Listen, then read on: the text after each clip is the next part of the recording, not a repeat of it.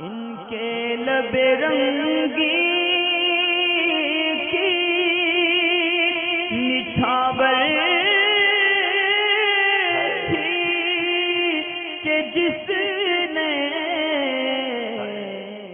منت کے اندر یہ قاعدہ آپ خیال میں رکھیں کہ کون سی منت کو پورا کرنا ضروری ہوتا ہے اور کون سی کو نہیں، اس کے اندر ایک بنیادی اصول یہ ہوتا ہے کہ اگر کسی ایسی چیز کی منت مانگی گئی ہے کہ جس کا پورا کرنا اسلام کے اندر فرض اور واجب قرار پاتا ہے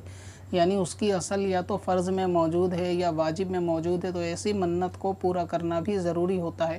اور اگر کوئی ایسے کام کی منت مانگی گئی کہ جس کا پورا کرنا فرض نہیں اور واجب بھی نہیں اسلام میں، شریعت میں، تو ایسے کام کی منت کو پورا کرنا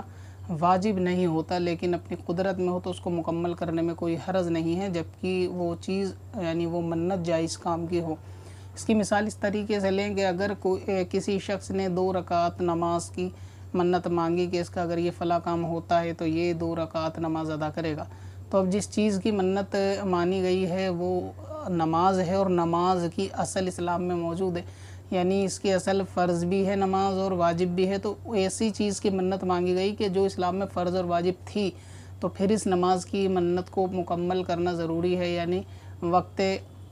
تعین پہ کہ جب اس نے وقت کو طے کیا ہے، اس کے اوپر اس کو وہ نماز ادا کرنی ہوگی۔ یعنی جس وقت اس نے وقت طے کیا ہے، اس کو یہ نماز دو رکعت منت کی پوری کرنی ہوگی۔ اسی طرح اگر کسی شخص نے روزے کی منت مانگی کہ اگر یہ کام ہوتا ہے تو یہ ایک دو یا تین روزے مطلب اس دن کے رکھے گا یا رکھے گی، تو کیونکہ روزے کی اصل بھی اسلام کے اندر فرض میں موجود ہے، تو لہٰذا یہ منت بھی پورا کرنا ضروری ہے، روزے بھی رکھنے ہوں گے۔ اب رہا یہ کہ مزارات پر چادر وغیرہ چڑھانا یا اصال ثواب کے لیے لنگر کرانا تو مزارات پر یا حاضری دینا، سلام کرنا، تو اس کی منت کو مکمل کرنا جائز تو ہے، ضروری نہیں ہے۔ مگر یہ کہ اگر کوئی اپنی قدرت پہ ہے، پورا کرنا چاہے تو کر سکتا ہے، اور اگر نہیں کرے گا تو اس کے اوپر شریعت میں کوئی پکڑ نہیں۔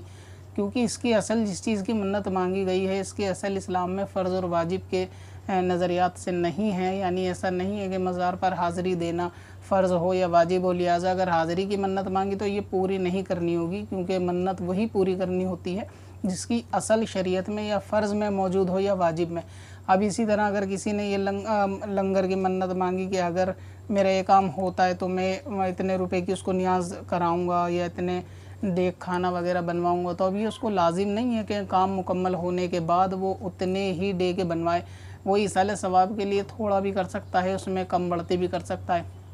ٹھیک، اسی طرح بعض لوگ یہ منت مانگتے ہیں کہ شادی کے بعد جو ہے